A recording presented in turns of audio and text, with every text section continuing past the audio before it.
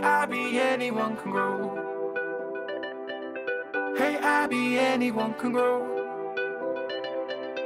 Hey, Abby, anyone can grow. Hey, Abby, anyone can grow. Anyone can grow.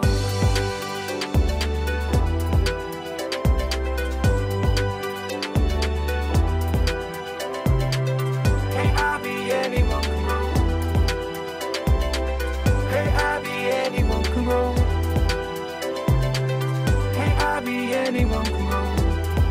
Anyone can grow. Hey, Abby, anyone can grow.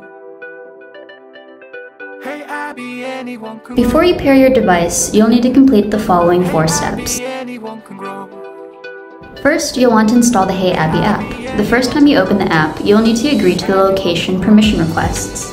Make sure to select the option Allow while using app. If you already selected a different option, please uninstall the app and re-download it. Then select the Allow while using app option to proceed. Next, make sure that your Bluetooth is turned on.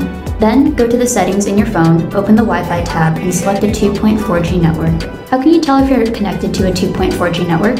First, make sure you're not connected to a 5G network. In general, 5G Wi-Fi networks will end in an underscore 5G suffix. Still not sure if you're connected to a 2.4G network?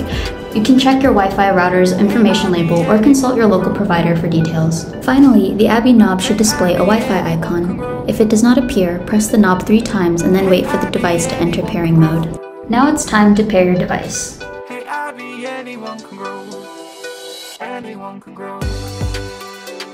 Start by tapping Add Device. Your app will then begin scanning. Please wait for the app to locate your device and then tap the Add button. Next, you'll need to connect to the network. Start by entering your password, confirm that the Wi-Fi address matches the one being used by your phone, and make sure your password is correct.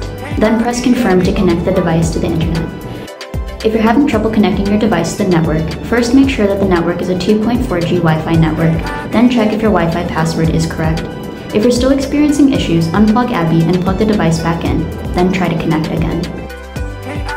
Great job, you're successfully paired and ready to grow. Hey Abby, open the door.